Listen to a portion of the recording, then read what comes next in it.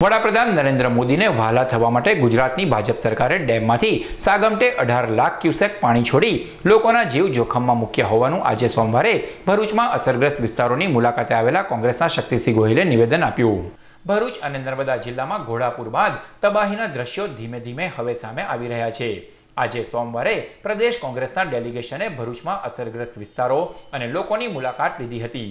લોકોએ કોંગ્રેસ સમક્ષ તંત્ર કે સરકાર દ્વારા ડેમમાંથી આટલું બધું પાણી એક સાથે છોડવા આગોતરી કોઈ જાણકારી નહીં અપાઈ હોવાનો સૂર ઠાલવ્યો હતો. કોંગ્રેસના શક્તિસિંહ ગોહિલે સાગમટે અઢાર લાખ ક્યુસેક નર્મદા ડેમમાંથી પાણી છોડી દેવાને દુઃખની વાત ગણાવી હતી. અત્યંત દુઃખની વાત છે કે આજે આપણા ભરૂચના નર્મદા ડેમમાંથી સત્તર લાખથી વધારે, સત્તર લાખ ક્યુસેક્સથી વધારે પાણી એક સાથે છોડવામાં આવ્યું અઢાર લાખ પોઈન્ટ બે ક્યુસેક્સ પાણી એકસાથે છૂટ્યું છેલ્લે અને એના કારણે ભરૂચના નર્મદાના નીચેના વિસ્તારોમાં બે બે માળ સુધી પાણી ચડી આવ્યું. લોકોની તબાહી થઈ ગઈ છે. ગામડામાં જે ખેડૂતો હતા એના ખેતરો સંપૂર્ણ બરબાદ થઈ ગયા છે અને આ ખેતરો નવસાધ્ય પણ ન થઈ શકે એટલી હાલત ખરાબ થઈ.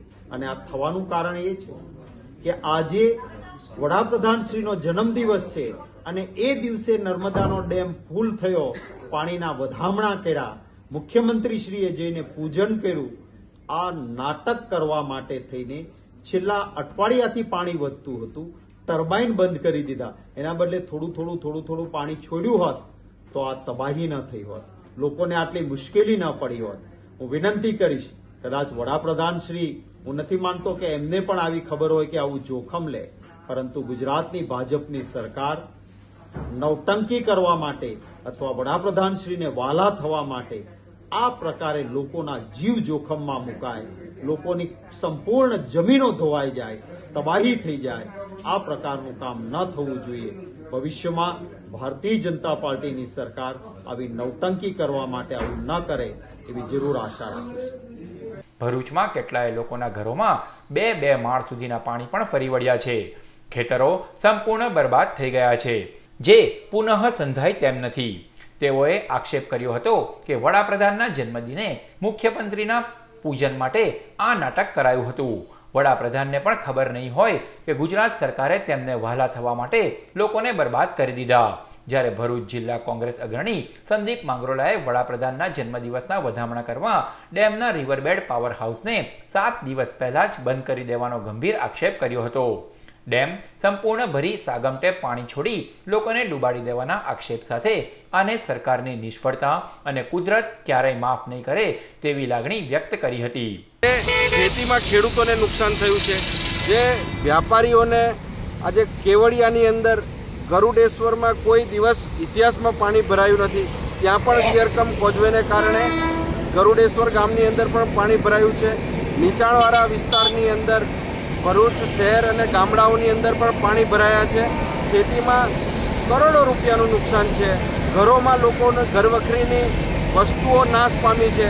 ત્યારે આ જે નુકસાન છે એ કઈ રીતના ભરપાઈ કરી શકશે? હું માનું છું કે કુદરત ક્યારેય આ પ્રમાણેની પ્રવૃત્તિને માફ નથી કરવાની. તો બીજી તરફ ઝઘડિયાના પૂર્વ ધારાસભ્ય છોટુ વસાવાએ પણ ગુજરાત સરકારને અઢાર લાખ ક્યુસેક ડેમમાંથી પાણી છોડી તબાહી સર્જવા બદલ શકંજામાં લીધી હતી.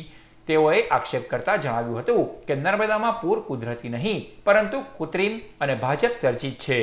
વડાપ્રધાનના જન્મદિવસે પાણી સંગ્રહ કરી મુખ્યમંત્રીની વિધિ માટે પ્લાનિંગથી પાણી છોડાયું છે. ધીમે ધીમે છોડ્યું હોત તો લોકો ડૂબત નહીં. આવી સરકાર, આવી વ્યવસ્થા ચાલે જ નહીં. આવા દરવાજા ખોલી તમે પાણી છોડો, તે કૃત્રિમ આફત છે. ચૂંટણી સમયે આવા લોકોને મત આપવાની કે વાત કરવાની પણ જરૂર નહીંનું નિવેદન તેઓએ આપ્યું હતું. આજે નર્મદામાં તાજેતરની અંદર જે પૂર આવ્યું છે, એ કુદરતી પૂર છે જ નથી, કૃત્રિમ છે.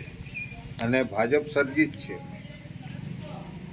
આ વડાપ્રધાન નરેન્દ્ર મોદીના જન્મદિવસના દિવસે પાણી સ્ટોરેજ કરીને જે વિધિ કરવાની હતી મુખ્યમંત્રી મારફતે આદિવાસી લોકો અને બીજી જે વસ્તી વસે છે, જે ભારતવાસીઓ છે, એ બધાને ઇમોશનલ બનાવીને કેવી રીતના ભાજપને વોટ અપાવવાના લોકસભાની ચૂંટણી જીતવી, એ પ્લાનિંગથી આ પાણી છોડવામાં આવ્યું છે. અને એના લીધે જે ગરીબ લોકો છે અને બીજા જ્યાં વસતા લોકો છે, એ બધાને ભારોભાર નુકસાન થયું છે, ખેતીમાં થયું છે, શારીરિક થયું છે. આજે એ લોકોને અનાજ પણ મળી શકતું નથી. તો આવા જે દરવાજા ખોલીને તમે હોનારત સર્જો છો, એ કૃત્રિમ કહેવાય, માનવ સર્જિત કહેવાય, એ ભાજપ સર્જિત કહેવાય. તો એને તમે કુદરતી આફત બતાવીને તમે શું કહેવા માગો છો? લોકોને મારે એમ કહેવું છે.